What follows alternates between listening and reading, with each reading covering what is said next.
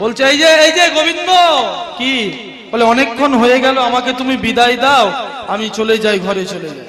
আমি চলে যাই। যখনই রাধারানী যেতে গেল, গোবিন্দ বাধা দিল, রাধে, কি গো? একটু দাঁড়িয়ে যাও। একটু দাঁড়িয়ে যাও। তোমাকে বামে নিয়েই তো লীলা প্রকাশ করব। মায়েরা, সন্ধ্যা প্রদীপ কেন দেওয়া হয় সে তত্ত্ব মন দিয়ে শুনবেন। হরিবল। এইবারে তোমাকে বামে নিয়ে আমি লীলা প্রকাশ করব, একটু দাঁড়াও। দাঁড়ালেন ভক্তমন্ডলী মায়েরা। রাধারানী বলেন গোবিন্দ, তুমি নাকি দেবতাকে উদ্ধার করবে? কই কই, তোমার সে দেবতা কোথায়? এমতো সময় গোবিন্দ বলে, এই যে রাধে, ওই দেখো, ওই তো, আরে ওই তো, দেখতে পাচ্ছ না? গোবিন্দ বলে, ওই রাধারানী বলে, কই? দেখতে তো পাচ্ছি না। বলে, দেখবে কি করে? যাকে বলছি, দেখো দেখো, ওনার দেহই নেই। বলে, বলো কি, দেহ নেই? বলে, না, অঙ্গ নেই, ন অঙ্গ। তাই দেবতাটার নাম হলো অনঙ্গ। ও, তনু মানে দেহ, তনু নাই, ন তনু, তাই দেবতাটার নাম হলো অতনু। কেউ বলে অনঙ্গ, কেউ বলে অতনু কেউ বলে কামদেব, আবার কেউ বলে দেবতা মদন। তা মায়েরা মনে প্রশ্ন হয় না, দেবতা যদি হবে, দেবতার দেহ কেন নেই? রাধারানীর মনে হয়েছিল প্রশ্নটা। গোবিন্দকে বলল, গোবিন্দ, একটু বলো না গো, এনার দেহ কেন নেই? ইনি তো দেবতা, দেহটা নেই কেন? বলে, জানো রাধে, তবে শোনো, এ যখন জন্মেছিল, দারুণ দেহ ছিল। আর কেন হবে না, এ কার ছেলে জানো? বলে, কার? বলে স্বয়ং সৃষ্টিপতি ব্রহ্মা হ্যাঁ বলো কি? ব্রহ্মার ছেলে? বলে হ্যাঁ হ্যাঁ গোবিন্দ, একটু বলো, একটু শোনাও। ব্রহ্মার যদি ছেলে হবে, দেহ হারালো কি করে? কি মায়েরা? একটু শুনুন। হরি বল হরি বল বলে তবে শুনুন গোবিন্দ রাধারানীকে বলছেন সেই ঘটনা। আমার নির্দেশে সৃষ্টিপতি ব্রহ্মা যখন সৃষ্টি করতে শুরু করল জগতের বুকে ব্রহ্মাস্তির নাম ছিল মায়েরা সাবিত্রী। তা সাবিত্রীর গর্ভ থেকে একদম প্রথম চারটে সন্তান জন্মেছিল চারটে। তা চারটে ছেলের নাম রেখেছিল আদর করে দন্তেশ্ব দিয়ে। অর্থাৎ সাবিত্রীর নামানুসারে কি নাম? সনত সনন্দ, সনাতন আর সনত কুমার। এই চারটে। চারটে ছেলে জন্মগ্রহণ করল। কিন্তু হে ভক্ত মন্ডলী মায়ের, আমার কি আশ্চর্যের বিষয়? দেখুন, চার ছেলে জন্ম নিয়েই শুরু করল তারা কৃষ্ণ নাম, শুরু করল তারা মধুর নাম। হরে কৃষ্ণ হরে কৃষ্ণ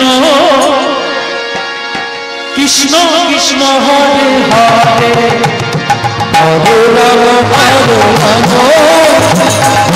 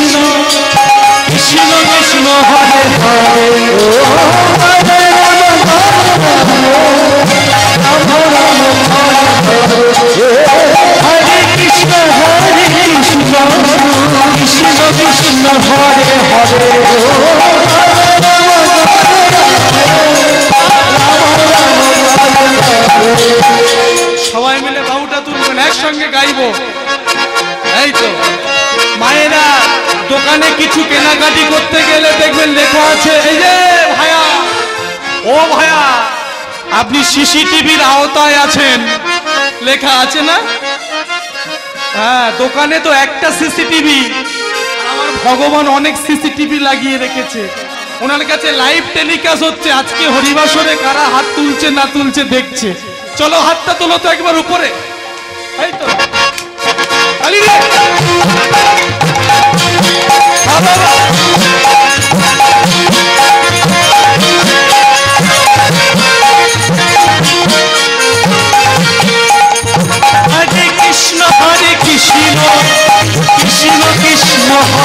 हरे हरे राम हरे राम राम राम, हरे हरे। हरे कृष्ण हरे कृष्ण कृष्ण कृष्ण, हरे हरे। हरे राम हरे राम राम राम, तो हरे हरे। हरे कृष्ण हरे कृष्ण कृष्ण कृष्ण, हरे हरे। हरे राम हरे राम। हरे। রাম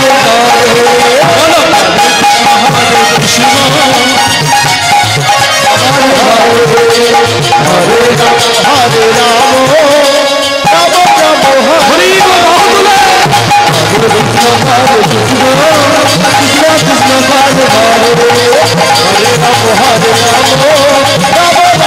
হরে কৃষ্ণ কৃষ্ণ কৃষ্ণ হরে হরে হরে রাম হরে রাম রাম রাম উচ্চ ঈশ্বরে যেখানে কৃষ্ণ নাম গেয়ে যায়, ব্রহ্মা বলে, বন্ধ করো।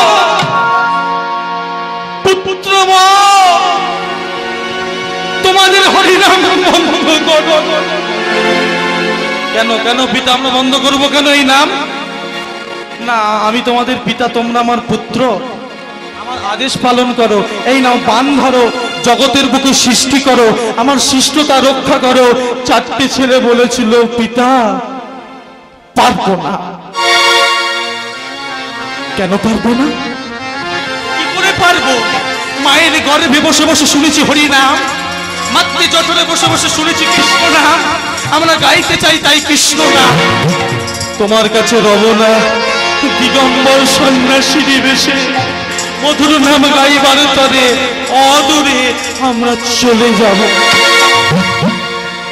যখন এই কথা বলে সাবিত্রী আর ব্রহ্মা বলে, আমরা তোমাদের বাবা মা, তোমরা আমাদের পুত্র, আমাদের বুকে আঘাত দিয়ে তোমরা চলে যাবে? হ্যাঁ আমরা চলে যাব। চারটে সন্তান সনত সনন্দ সনাতন সনত কুমার, দিগম্বর সন্ন্যাসী বেশে কৃষ্ণ নাম গাইতে গাইতে দূর দিগন্তে চলে গেল। ব্রহ্মা সাবিত্রী, নয়ন দিয়ে নয়ন ধারা বিগলিত হতে লাগল কি হলো? আমাদের সৃষ্টি করা পুত্র চলে গেল, আমরা কাকে নিয়ে বেঁচে থাকব?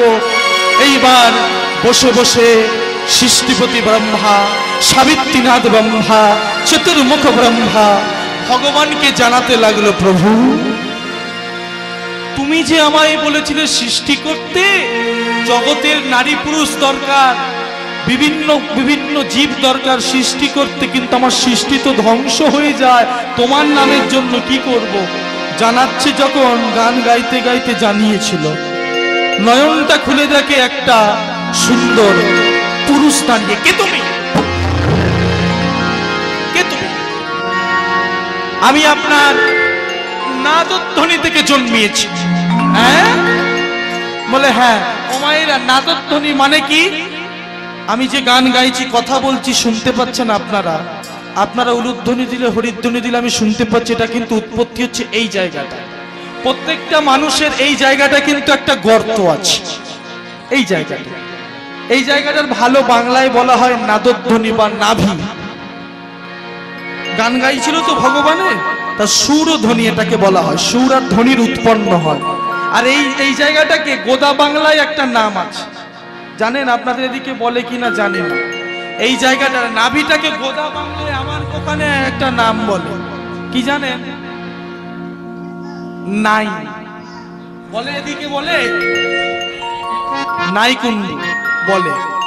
তত্ত্বটা জানেন তো? এটা নাই কেন বলা হয়? নাম নাই কেন হলো? অন্য কোনো তো নাম দিতে পারতো, এটা নাই কেন বলে? মায়েরা, আপনি আমি যখন জন্মেছিলাম মাতৃগর্ভে, এই জায়গাটা থেকে আপনার মায়ের সঙ্গে, আমার মায়ের সঙ্গে যোগাযোগ ছিল। মা যা খেত, আমি খেতাম। মা হাসলে আমি হাসতাম, মা ঘুমালে আমি ঘুমাতাম। এখন আর আছে নাকি কারণ নাই। তাই নাই। আরেকটা তত্ত্ব আছে, তখনকার দিনে যখন সন্তান জন্মগ্রহণ করল, একজনে সেই মায়ের সঙ্গে এখান থেকে আমাদের যোগাযোগ ছিল, যোগাযোগের ক্ষেত্রটা কেটে দেয়। কে? কেটে দিত দাই, তাই এর নাম নাই। প্রেম সে নিতাই গৌর প্রেমানন্দ। হরিবল এইখান উৎপত্তি হলো। কে বাবা, তুমি তোমার নাদধ্বনি থেকে বাবা জন্মেছ। ও, আমার নাভি থেকে? বাবা বাবা। সাবিত্রী, দেখে যাও কি সুন্দর ছেলের জন্ম দিয়েছি। তা তোমার একটা নাম দিই, কি নাম দিই, কি নাম? নারদ। নাদ থেকে জন্মিয়েছ নারদ। নাম দিলাম নারদ। এই নাও বাবা, বান ধরো। জগতকে সৃষ্টি করো। নারদ মুনি বলেছিল, পারব না। হরিনাম শুনতে শুনতে আমার জন্ম। চলে গেলেন কৃষ্ণ নাম গাইবার তরে নারদকে অভিশাপ দিয়েছিল। কলিযুগে শিবাস পণ্ডিত হয়ে তুমি পুত্র শোকের জ্বালা তুমি ভোগ করবে। এই অনেক ঘটনা আছে, আজকে আর বলা যাবে না। দিন কেটে গেল, এমন সময় হঠাৎ একদিন সৃষ্টিপতি বোম্বা গালে হাত দিয়ে চিন্তায় বসলেন। যে আমার সৃষ্টি ধ্বংস হয়ে যায় কি হবে? মায়েরা দেখবেন চিন্তা যখন হয়, মাথাটা ভারী হয়ে যায় বলে হাতটা ঠিক। রাখা হয় না এইভাবে?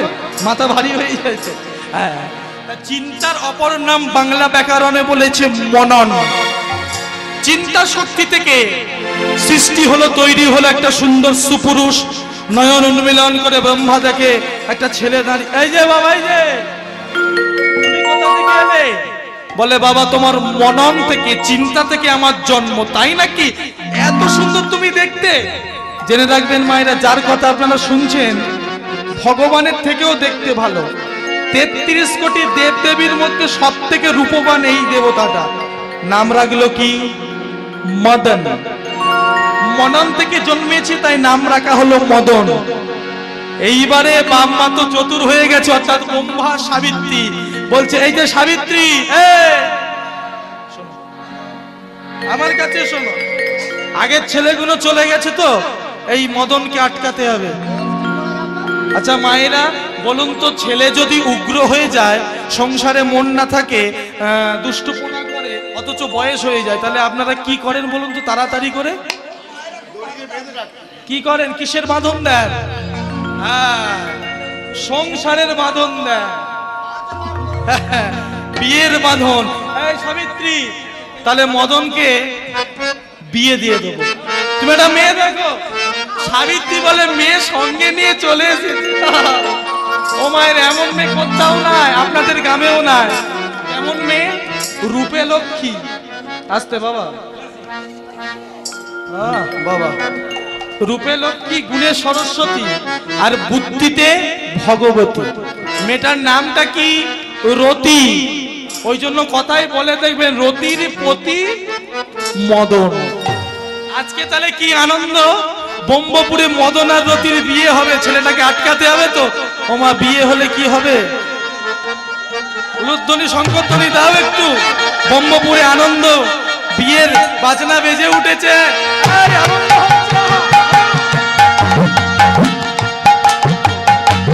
তখনকার দিন থেকে কিন্তু বিয়ের রীতি সব হয়ে আসছে। ওই জন্য আজকে শুভ দৃষ্টি, মেলা বদল সব একটু সাজিয়ে দিচ্ছে। উলুধ্বনি দাও দেখি আপনারা।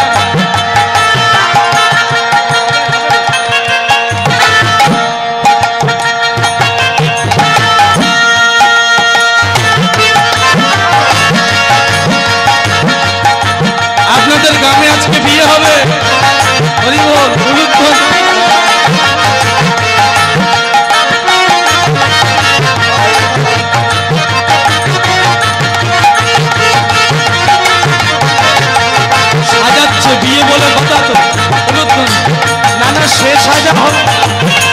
সাজি টাজি তো লাগে ও সাজা কোথায় হবে?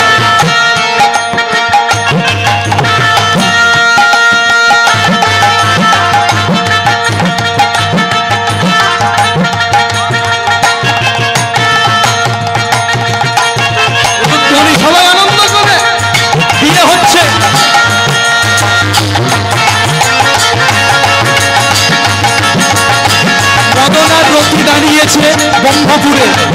মালা বদলের পালা নাকি শুভ দৃষ্টির পালা?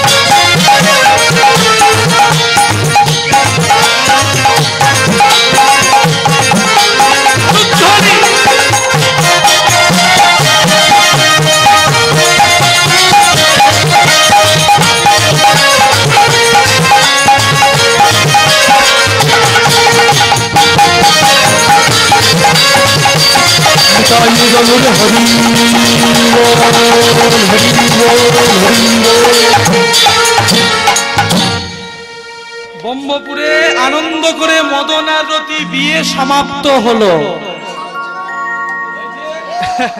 ওই কমিটি রেখেছে, নেমে খাবে। এইবারে মা, বিয়ে শেষ, বিয়ের পরের দিন কি করল মা? ব্রহ্মা গিয়ে, আহা, মদন গিয়ে ব্রহ্মার পায়ে, অর্থাৎ বাবার পায়ে প্রণাম করল। বিয়ের পর দিন তো আশীর্বাদ করল, বাবা নবজীবন সুন্দর হোক। কিন্তু আশীর্বাদ তো শুধু মুখে দিলে হবে না, কিছু দিতে হবে। কি, আপনারা মেয়ের, বলুন ছেলে, বলুন বিয়ে হলে সোনার আংটি দেয়, গলার হার দেয়। আবার এখনকার কিছু কিছু বাবা মা আছে, দেখছি ছেলেকে দিয়েছে আশীর্বাদ স্বরূপ, বৌমাকে নিয়ে ঘুর দু চাকা।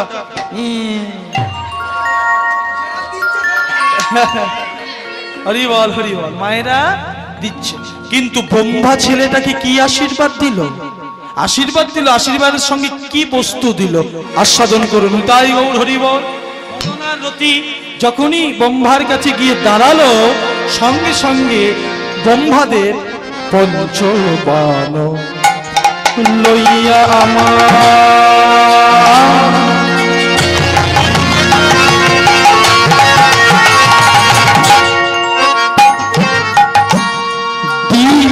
সৃষ্টিপতি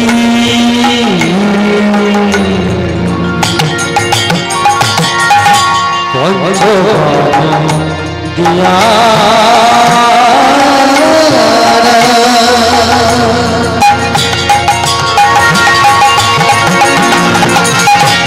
দিল সৃষ্টি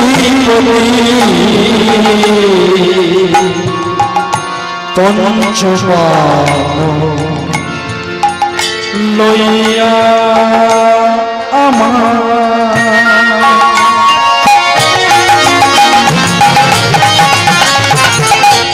দিল সৃষ্টিপতি।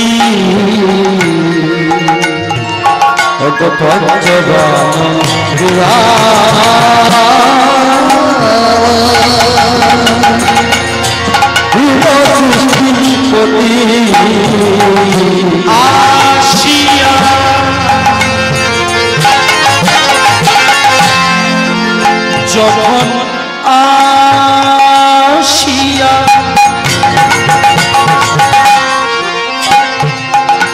দাঁড়াইল যথা।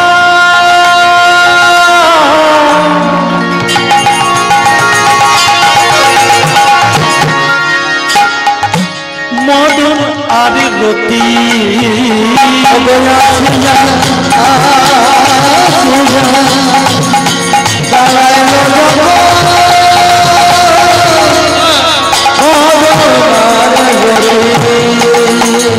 ভজন এ, এ, কি হলো?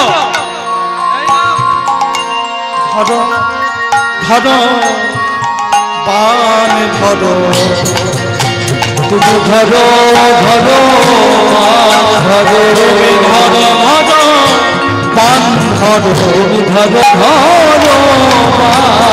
ধরো জগৎ সৃষ্টি কর। ধরো ধরো তুমি যাও সৃষ্টি করো কেন করো? ধরো সৃষ্টি করো। কেন করো? জগৎ সৃষ্টি করো। ধরো ধরো পান ধরো। পাঁচটা বান পঞ্চবান। মদন মারণ শোষণ শাসন স্তম্ভন। এই পঞ্চবান ছেলের হাতে যখন দেয়া হলো, বলল, বাবা, যাও, জগতের বুকে গিয়ে তুমি সৃষ্টি করো। কি করে নারী পুরুষ যাকে তুমি দেখবে আর তোমার বানের আঘাতে মোহিত হয়ে তারা জগৎ সৃষ্টি করবে। বলে, ঠিক আছে বাবা, তাই হবে, কিন্তু আপনার কথাটা যেমন ব্যাকরণে ভুল হয়ে গেল। কেন? বলে, আরে বাবা, তুমি তো দেখছ, যাকে দেখবে বান মারবে আপনি বলছেন, যাকে দেখবে বান মারবে। কিন্তু আপনি তো দিয়েছেন আমাকে মাত্র পাঁচটা বান। তা পাঁচটা বান তো পাঁচটা নারী পুরুষকে মারলে শেষ। তারপরে বান কোথায় পাবো? মায়ের আই যে। আস্তে আস্তে, এদিকে তাকান। বোম্বা বলল, ব্যাপারটা ভালো করে বুঝে নাও বাবা। জগতের অন্যান্য বান আর তোমার বান এক নয়। জগতের অন্যান্য বান মারলে গেল আর ফিরে আসে না। কিন্তু তোমার বান যাকে তুমি মারবে, তাকে মোহিত করে ওই বান তোমার তুঙে ফিরে আসবে। এখন মদন বলে তো সাংঘাতিক ব্যাপার। বান মারলাম গেল, আবার ব্যাক। না, বিশ্বাস হচ্ছে না। না না না আমার বিশ্বাস হচ্ছে কি? আমি ব্রহ্মা, আমার কথা বিশ্বাস হয় না? ঠিক আছে, বিশ্বাস যদি না হয়, পরীক্ষা করে দেখে নাও। এই কথাটা ঠিক বলেছেন। পরীক্ষা করব। ঠিক আছে? তা বাবা, আপনার বান কাউকে মেরে পরীক্ষা করতে হবে, কিন্তু বান কাকে মারবো? এখানে তো তুমি আর আমি ছাড়া কেউ নেই। আমাকে মানিস না মান আমি সৃষ্টিপতি ব্রহ্মা। চতুর্মুখ ব্রহ্মা আমি সাবিত্রীনাথ ব্রহ্মা আমার বুকে বান মারিস না। ছেলে কি করল? বাবার দেয়া বান, বাবারই বুকে পরিশন করে পরীক্ষা করতে চাইলো, বান পরিশন করে। ব্রহ্মার দিকে লক্ষ্য করে মদন দেব মারল ফুলো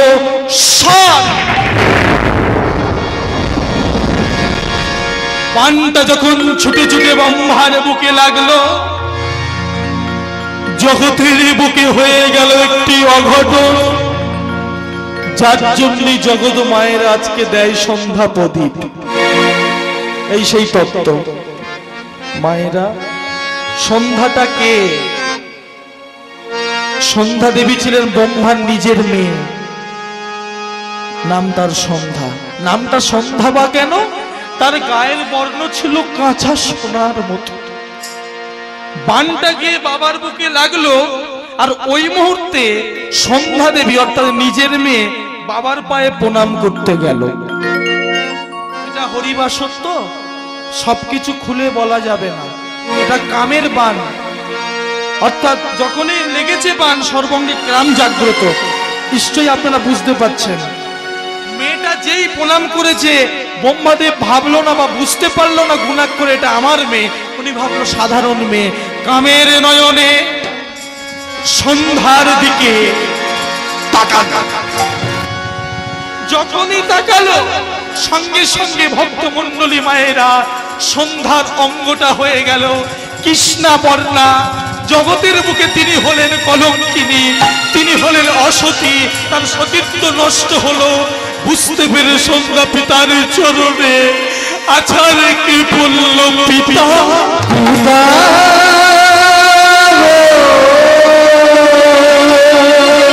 তুমি কি করিলে পিতা? তুমি কি করিলে?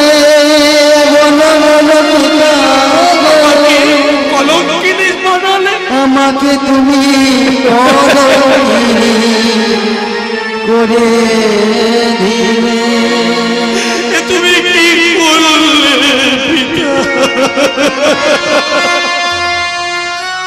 তুমি আমার বাবা, আমি তোমার আমাকে অসতী বানালে আমার এত সুন্দর অঙ্গটা কালো করে দিলে। সবাই তুলে বলবে, সন্ধ্যা কলঙ্কিনী। সবাই বলবে, অসতী, আমার সতীত্ব নষ্ট হলো। কেন তুমি কর্ম করলে উত্তর? যখনই চেতনা ফিরে পেল ব্রহ্মা বলল, শোনো মা সন্ধ্যা, আমার এই হতভাগা ছেলের জন্য তোমার কাছে আমি অপরাধী হয়েছি। মা, তোমার সতীত্ব তুমি যদি ফিরে পেতে চাও, তাহলে তোমাকে যেতে হবে বাংলার মায়েদের কাছে মর্তধামে। বাংলার মায়েরা যারা হবে সতী নারী, যারা হবে প্রতি গরবে গরবিনী, একটা পুরুষ ছাড়া যারা ভালোবাসবে না অন্য কোনো পুরুষ সেই নারীদের কাছে তুমি মা সন্ধ্যা প্রতিদিন সন্ধ্যা বেলায় গিয়ে তাদের দ্বারে গিয়ে আঁচল পেতে দাঁড়াবে। মায়েরা, আপনাদের মতন সতীর্থ নারীদের কাছে সন্ধ্যা দেবী এসে দাঁড়ায় আঁচল পেতে। না, ধন অর্থ মণিমাণিক্য নেবার জন্য নয়। বলে দিয়েছিল ব্রহ্মা, আঁচল পেতে দাঁড়িয়ে তুমি ভিক্ষা চাইবে যে, মা, জগতের বুকে তুমি তো একটা সতী নারী তাই তোমার সতীত্ব থেকে একটু সতীত্ব তুমি আমায় ভিক্ষা দাও। একটু সতীত্ব তুমি আমায় ভিক্ষা দাও। একটু সতীত্ব তুমি জগতের মায়েদের সতীত্ব নিয়ে হবে তুমি প্রবীক্ষা কেউ তোমায় বলতে পারবে না, তুমি কলঙ্কিনী সন্ধ্যা। আর শোনো মা, তোমার অঙ্গ যে কালো হয়েছে, মা, তত্ত্বের সঙ্গে নিজে মেলাবেন। কীর্তনিয়া বলে গেল হবে না। সন্ধ্যা যখন চারিদিকে নেমে আসে, তার মানে কি হয়ে যায় চারিদিকটা বলে অন্ধকার হয়তো কালো হয় আদার হয়, কেন এই জন্যই কালো হয়? হরিবল হরিবল তাই কালো অঙ্গটাকে আলো করবার জন্য আমি ব্রহ্মা, আমি নিয়ম করে দিলাম বাংলার মায়েরা তোমার অঙ্গ আলো করবার জন্য হাতে তুলে নেবে সন্ধ্যা প্রদীপ। আর বলে দিলাম যে যে বাড়িতে সন্ধ্যা প্রবৃত্ত হবে না, যে বাড়িতে সন্ধ্যা আলোকিত হবে না, সে বাড়িতে কোনোদিন লক্ষ্মী থাকবে না।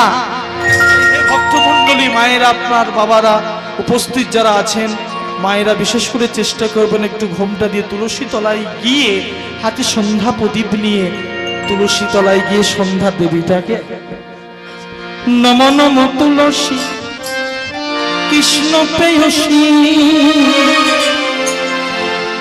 রাধা কৃষ্ণের চরণ পাব এই অবিনাশী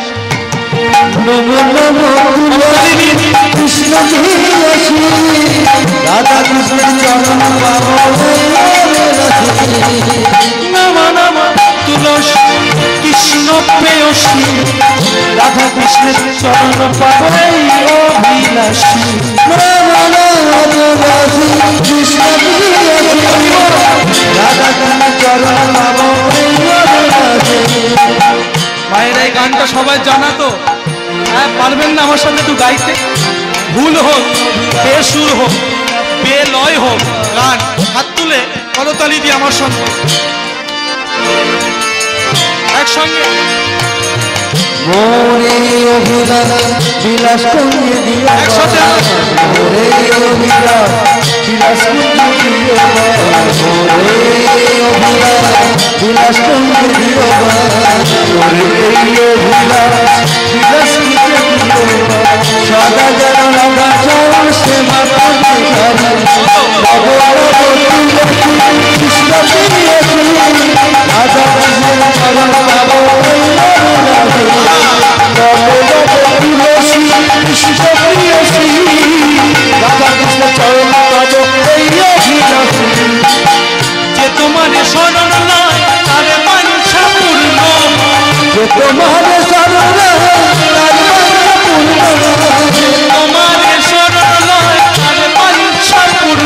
পূর্ণ তোমার কৃপা করে করো তারে বৃন্দাবন বাসী নম নম তুলসী কৃষ্ণ প্রিয়সী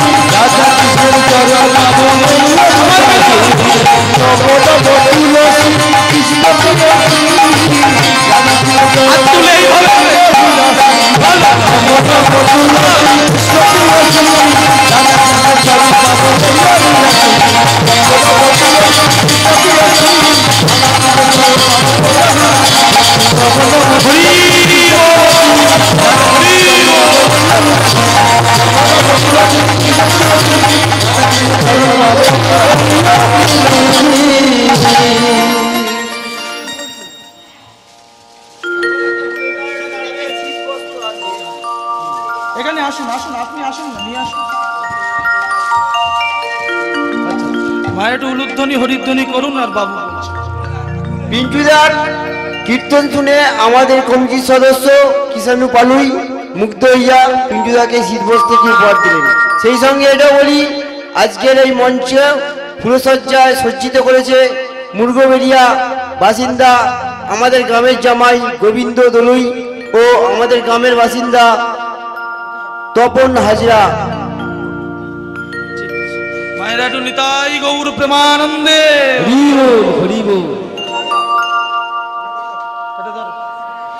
বাবু দিল এটা ব্যবহার তো করা উচিত হরিবাসরে দাঁড়িয়ে তাই না মা নিতাই আশা করে দিয়েছে নিতাই গৌর হরি বল হরি বল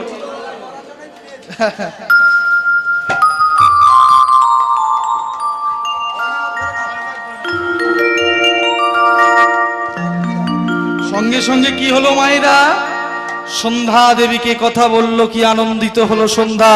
এবার মদনকে অভিশাপ দিল, পুত্র, তোমাকে আমি সৃষ্টি করেছি, তোমার দেহ আমি তৈরি করেছি, মদন, অভিশাপ দিলাম, তোমার অঙ্গ পুরে ছাই হয়ে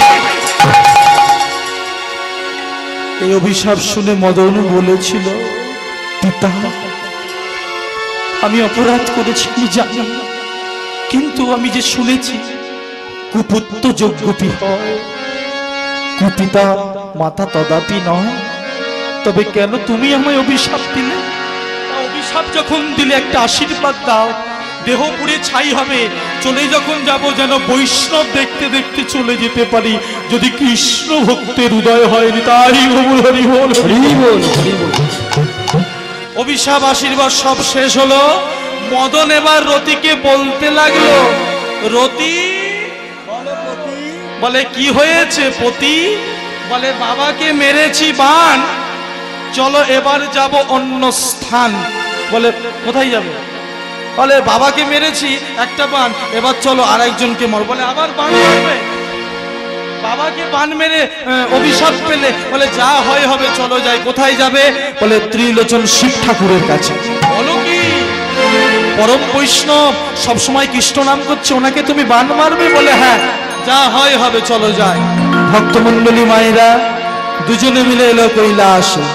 আর কৈলাসে এসে দেখে ত্রিলোচন শিব ঠাকুর সৈন্য শিকারে বসে বসে কৃষ্ণ নাম করছে, হরি নাম করছে। আর সেই সুযোগে ওই মুহূর্তে কৃষ্ণ নামের ধ্বনি যখন ভোলানাথের মুখে, হরে কৃষ্ণ হরে কৃষ্ণ বারবার উচ্চারিত হচ্ছে। আর ওই সময়ে মা মদনদে তুম থেকে বান তুলে প্রস্তুত হতে দেরি না করে শিবের বুকে পারল পান।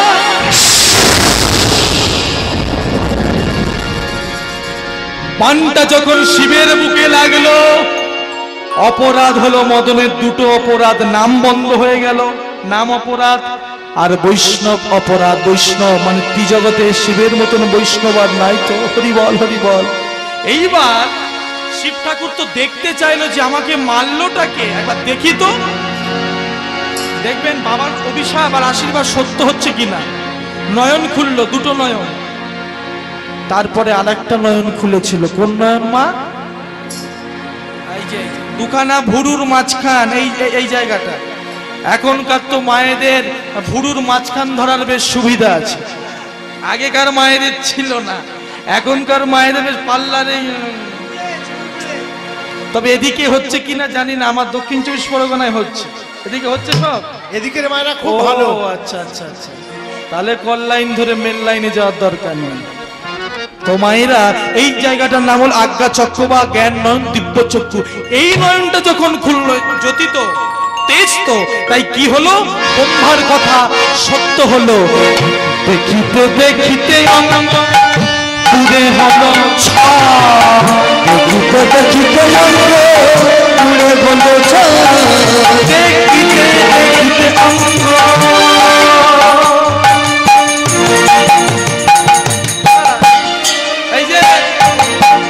পুরে বলো দেখিতে দেখিতে এই হলো বলো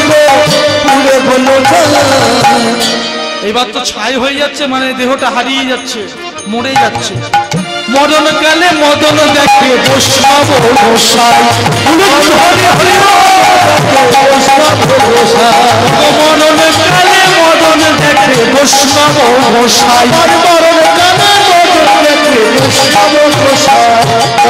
মনের আশা পূরণ হলো। মনের আশা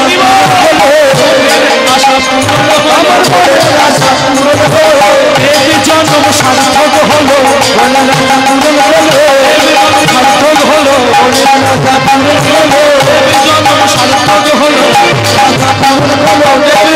সার্থক হলো মনের বসলাম দেখে বসলাম বসা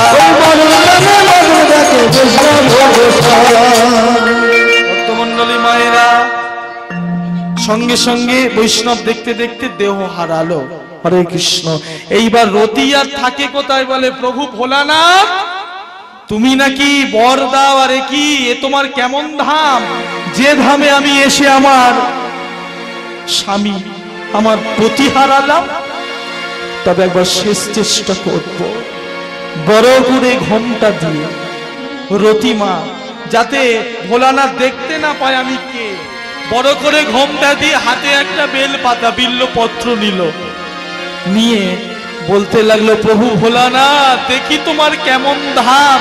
যে ধামে আমার প- পতি হারালাম একটা শেষ চেষ্টা করে দেখি আমার স্বামী ফিরিয়ে আনতে পারি কিনা। ওম নম শিবায়। ও নম শিবায়। ও নম শিবায় ঘণ্টা ও নম শিবায় নম শিবায় ও নম শিবায়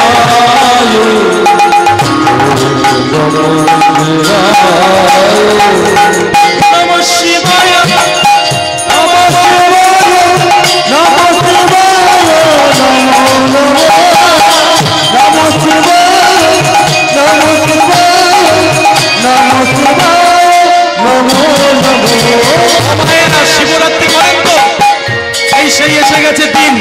ফাল্গুন মাসের আট তারিখ পড়েছে চলুন আনন্দ করি বাবার নাম নিয়ে একসঙ্গে করতালি দিয়ে নম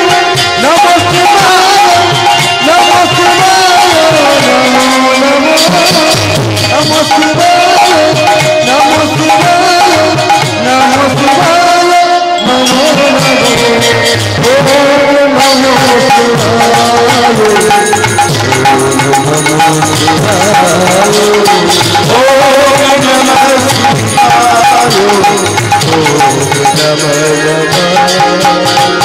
ও নমো ওম নমো শিবায়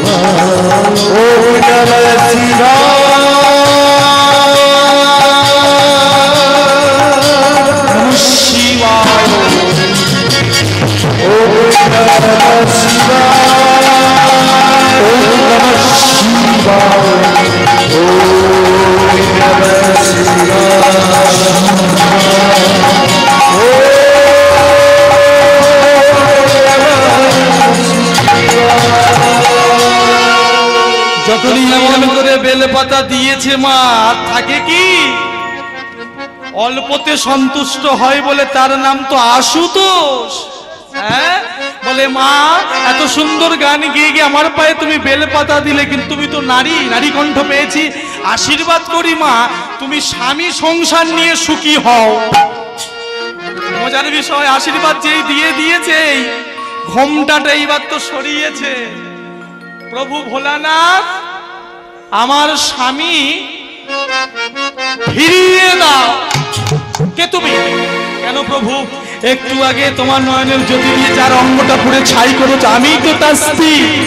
তুমি শেষ করেছ আমার স্বামীকে। কোথায় পাবো? পতি দাও, ফিরিয়ে দাও, আশীর্বাদ দিয়েছ।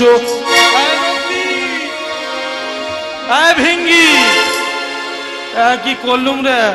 বলে, বাবা, তোমার তো এমনই কাণ্ড কারখানা। সাদে কি আমার কর্তামা বলে, আমার ভোলা না দে নয়, এ ভাঙর ভোলা। এই জন্যই তো বলে, সাত পাঁচ না ভেবে আশীর্বাদ দাও কেন? বলে, যা হবার হয়েছে, দাঁড়া, একটা উপায় আছে। এই মা, আমার কাছে আজকে আমি গুরু হয়ে তোর জ্ঞান নয়ন খুলে দিলাম। কেন?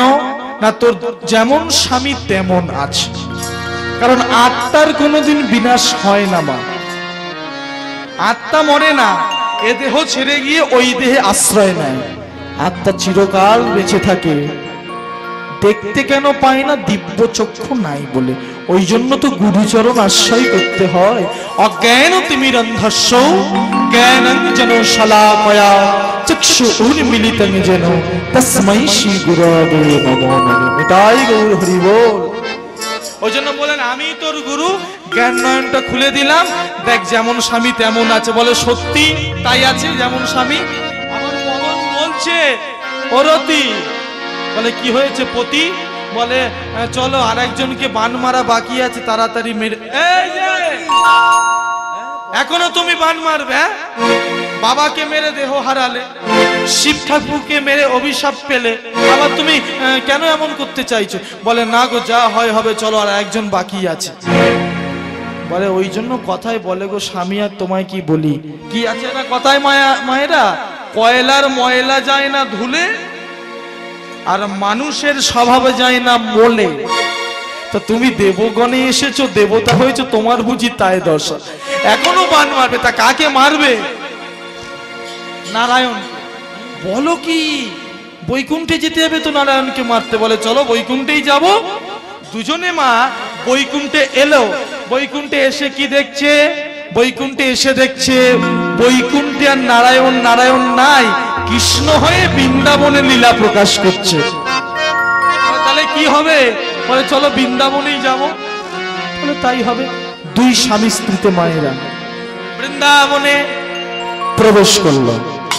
প্রবেশ করে কি দেখছে? সেই যে যুগল হয়ে দাঁড়িয়েছিল রাধা কৃষ্ণ রূপ বর্ণনার পরেই রাধারানী এসে যখনই দাঁড়াল, সেই দাঁড়িয়ে আছে এই মদনার রতি প্রবেশ করল। হরি বল। পঞ্চবান এক এক করে তুলতে শুরু করল আর বানেদের বলছে, আপনারা শুনুন এই জায়গাটা, খুব মন দিয়ে। বানের দল কি? এতক্ষণ যাদের কাছে গেছিস কোনো অসুবিধা হয়নি। এইবার যার কাছে যাচ্ছিস, খুব সাংঘাতিক দেবতা, সাবধানে যাবি। প্রথম বান তুলে কৃষ্ণের বক্ষ লক্ষ্য করে মদন দেব মাল্য তার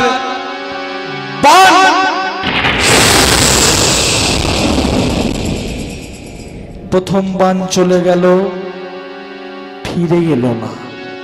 এইভাবে দ্বিতীয় বান, তৃতীয়, চতুর্থ, শেষ, পাঁচটা পান চলে গেল পানের স্বভাব পরিবর্তন হয়ে গেল। বলুন মায়েরা, বানের স্বভাব মানে এই বানগুলোর গুণ কি? এতক্ষণ দেখি কেমন শুনছে। কি গুণ?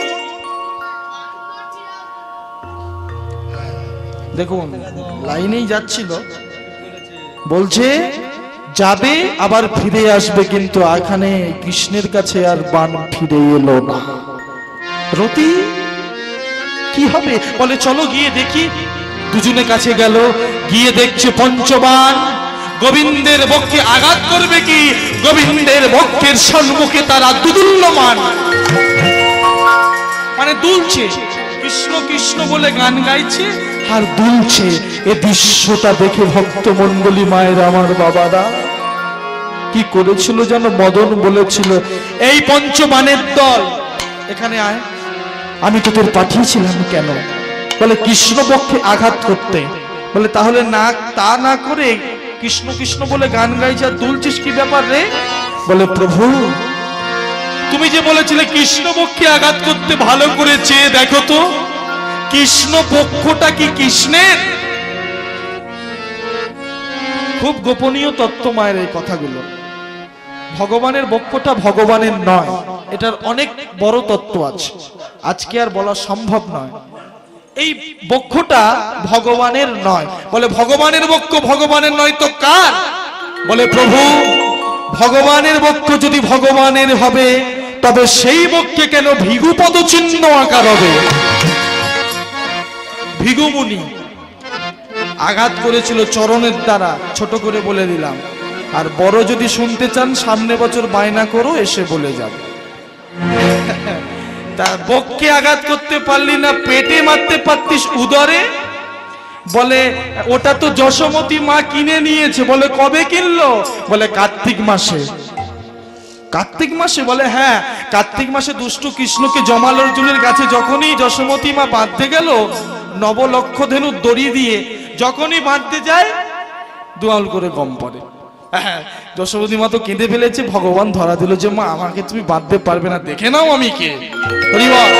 বাঁধতে পারল না। ওই জন্য কার্তিক মাসটার একটা অপর নাম আছে। কি নাম? বলুন, আপনাদের জানা দরকার। দামোদর বা নিয়ম সেবার মাস। দাম মানে দড়ি, উদর মানে পেট, বেঁধেছিল। ওই জন্য বলছে দামোদর মাস। হরিবর। তা ওটা যশোমতী মা কিনে নিয়েছে। ও, তাহলে বক্ষে পারলি না, উদরে পারলি না। আচ্ছা গোবিন্দের যুগল উরু ছিল। উরু দেশে মারতে পারতিস। বলে, ওখানে তো আমরা যাবই না। বলে, কেন? না, ওটা শ্মশান হয়ে গেছে। কবে থেকে হলো? বলে, কেন? প্রহ্লাদের বাবা হিরণ্যকশিপুকে যখন ভগবান নিসিংহ রূপ ধারণ করে এই উরু দেশে রেখে শেষ করলেন ভক্ত উদ্ধারের জন্য। সেদিন থেকে এই দুটো উরুদেশ হয়ে গেছে শ্মশান। তাই আমরা ওখানে যাই না। ও।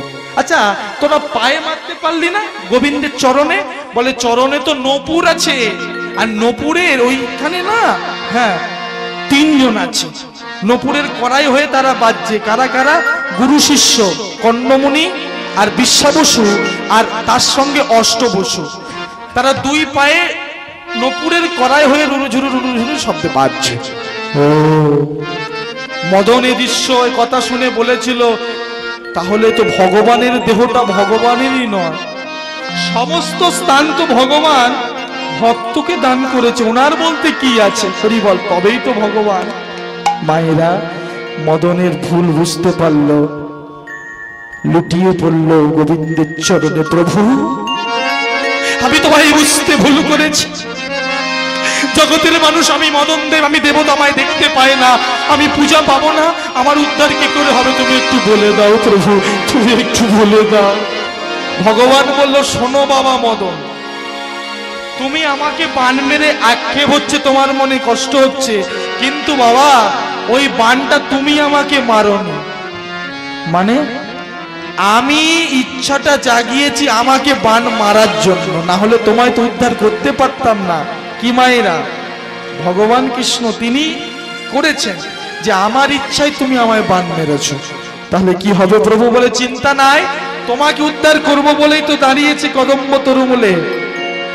শোনো বাবা, আজ থেকে আমি নিয়ম করে দিলাম। বৃন্দাবনের অপ্রাকৃত নবীন মদন, কাম বীজ, কাম গায়ত্রী, যার উপাসন। অর্থাৎ বৃন্দাবনের কৃষ্ণের কাম বীজ কাম গায়ত্রী যা মদন দেবতা, ওনারও কিন্তু কাম বীজ কাম গায়ত্রী তাই একই। যারা এখানে কুলীন ব্রাহ্মণ আছে, চরণে কোটি কোটি প্রণাম। তাদের কাছে একটু জেনে নেবেন আপনারা, ভগবানের কাম বীজ কাম গায়ত্রের মদনেরও এক। অর্থাৎ, শোনো বাবা, আজ থেকে আমি আমার পূজার অর্ধেক ভাগ তোমায় দিলাম। মায়েরা দেখুন, ভগবান কাকে বলে? নিজের পূজার অর্ধেক ভাগ আমি তোমায় দিলাম। জগতের মানুষ যারা কৃষ্ণ পূজা করবে এখানে যে পূজা হয়েছে? প্রকৃতপক্ষে মদনেরও পূজা হয়ে গেছে। অর্থাৎ আমার পূজার দ্বারাই তোমার উদ্ধার। তুমিও পূজা পাবে। হরে কৃষ্ণ। আপনারা এই দেবতাকে কোনোদিন দেখেছেন? মদন? মদন দেবতা। দেখেননি তো? বলে যাই, দেখে নেবেন, সুযোগ পেলে। কোথায়? বামে রাধা রানী নাই। ভগবান কৃষ্ণের বামে রাধারানী থাকবে না, যখন কৃষ্ণ একা বাঁশি ধরে দাঁড়িয়ে থাকবে, ওটাই কিন্তু সাক্ষাৎ কাম দেব রাধারানী থাকলে তিনি কৃষ্ণ, আর রাধারানী নেই, উনি কামদেব হরি বল, হরে কৃষ্ণ। মায়েরা এইবার বলল, প্রভু, তুমি তো আমায় উদ্ধার করলে আমি কি করব? নয়নের চোখের কজ্জল মানে কাজলার জল নিয়ে গোবিন্দের চরণের উপর একটা নাম লিখেছিল যে নাম কৃষ্ণের অষ্টোত্তর শত নামে লেখা আছে দেখে নেবেন আপনারা। মদন রাখিল নাম মদন মোহন তাই গৌর প্রেমানন্দে। আপনাদের হরিবাসনে ভগবানের একটা নাম পূর্ণ হলো। আর পাঁচটা বান দিয়ে গোবিন্দের তিলক অঙ্কিত হয়ে গেল পঞ্চবান আপনারা যে তিলক করেন আমি যে তিলক করেছি এ তিলক গোপীচন্দন তিলক গোপী মাটি বলা হয়। আর ভগবানের ললারে যে তিলক আছে, ওটা কোনো চন্দন নয়। ওটা বান দিয়ে তৈরি, এই মদন এঁকে দিয়েছিল। ডান দিকে একটা, বাম দিকে একটা, নাকের দুই দিকে দুটো, আর আড়াআড়ি ভাবে দেয়া হলো একটা। তাহলে পাঁচটা বান দিয়ে তিলকটা অঙ্কিত হয়ে গেল। নিতাই গৌর প্রেমানন্দে এইবার মদন বলল, প্রভু, তুমি তো আমায় উদ্ধার করলে আর একটা বাসনা আছে। সখীগণ পিছন থেকে বলল রাধে আর দেরি করিস কেন? ভক্ত অর্থাৎ দেবতা মদনেরও বাসনা পূর্ণ কর আর আমাদেরও কর। কি বাসনা? ও তোরা যুগল দেখতে চাস? বলে হ্যাঁ তোরা একটু দুজনে যুগল হয়ে দাঁড়া আমরা যুগল দেখতে দেখতে বিদায় নেই। ভক্তমন্ডলী মায়ের আমার বাবারা গোপনীয় তত্ত্বগুলো যেগুলো বলেছিলাম আস্বাদন করলেন মনে রাখবেন। এইখানে লীলার বিষয়বস্তু সমাপ্ত করছি। আসুন যুগল গান গাইতে গাইতে আমরা বিদায় নেব। ভালো থাকুন, সুস্থ থাকুন, প্রেম সে আনন্দ করে আমরা নাম গান। এই নামটাকে ধরুন। প্রেম সে নিতাই গৌর প্রেমানন্দে। হরিব হরিব